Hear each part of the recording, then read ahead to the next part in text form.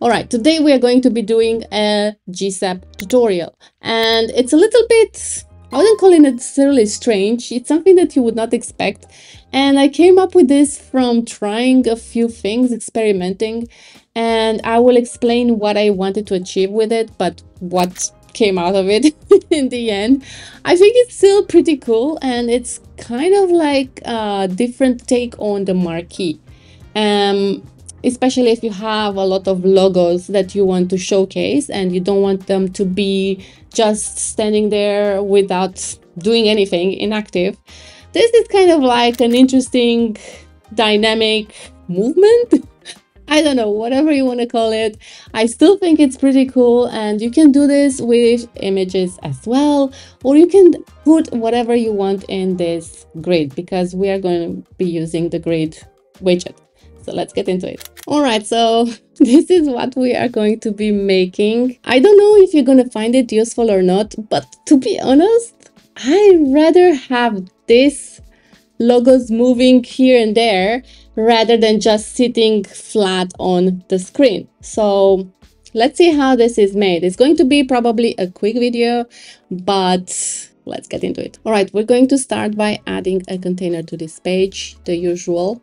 And this container is going to be full width. Of course, this depends on your page structure and what you want to achieve. So I'm going to say minimum height 100%, justify the content that will be in this co uh, container to uh, center, center, and center. So everything is in the center.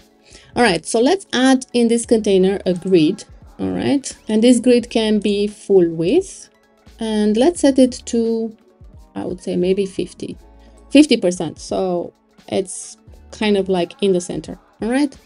And what we want is let's say four columns and two rows. So one two three four columns and two rows. Yeah one two. Okay.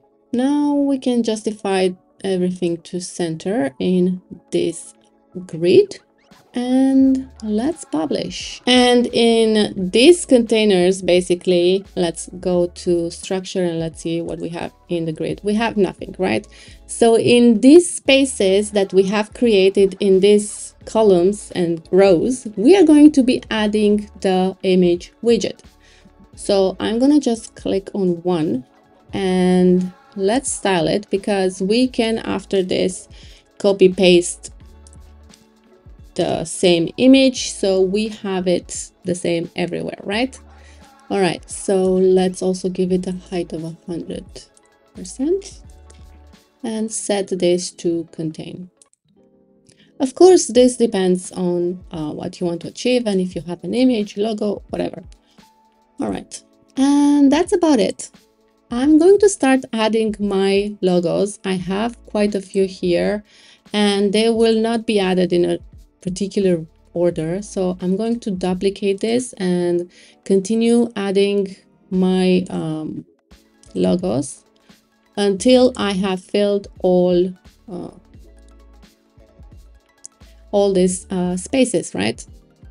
So this, oops, did I just, all right. Um, yeah duplicate and replace. Oops, let's go with twitch. Duplicate and replace. Again very very very random so. Duplicate. And let's add another one. Zapier. All right i think we are pretty uh, good with how many logos we have. Another thing that I want to do is set the spacing between the gap between these logos. So at the moment there's zero gap. So I'm going to set it to 25. You can go to 50 if you want, which gives you more space between logos.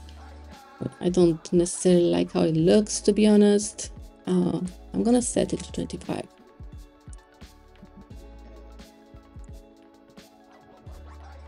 And let's unlink this and say this is 50 does it look better hmm.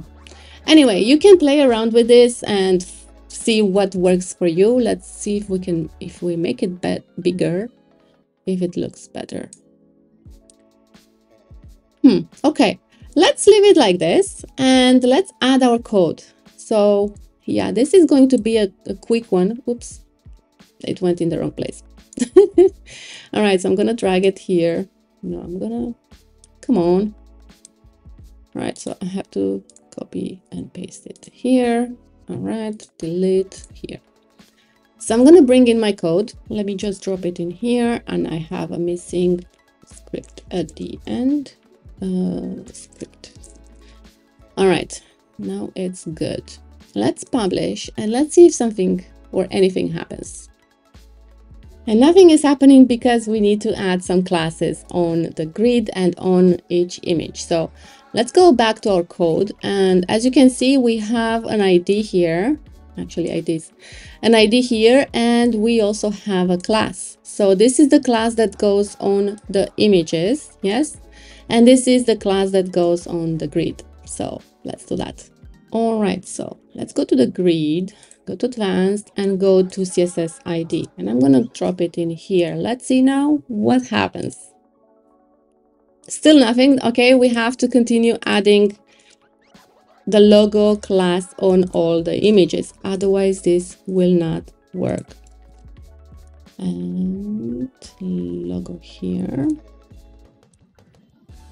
And another logo here. And Let's publish and let's have another look. Okay, so it's working.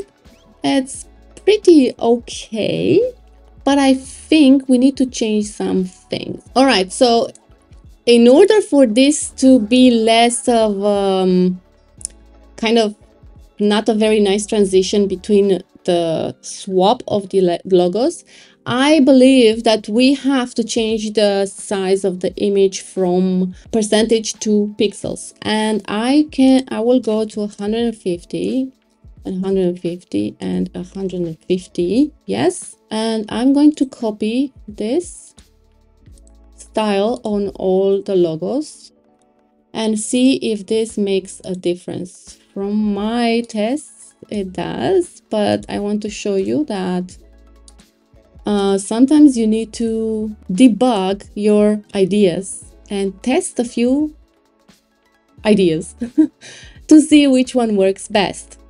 Uh, this looks pretty good now, it's pretty smooth, but I don't like the very big gap between elements. I also, I think that's it. Let's see. Yeah, so there you go, there you have it. You can add additional, of course, additional logos, make it better.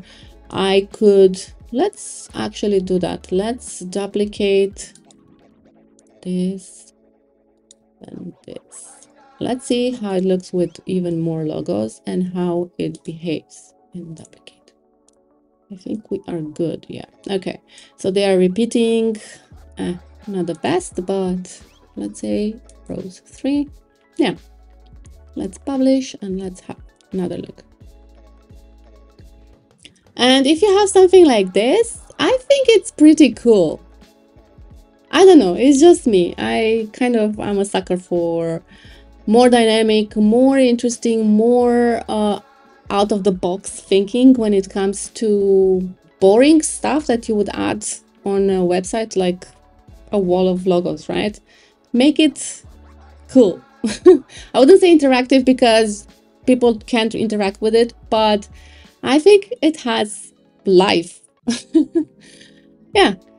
So let me know if you like it and if you're gonna use it. If you'd like to see what else you can build with Elementor, watch this playlist here or here. And if you have gotten any value out of this video, please consider subscribing, liking, and sharing this video, and I'll see you next time. Bye.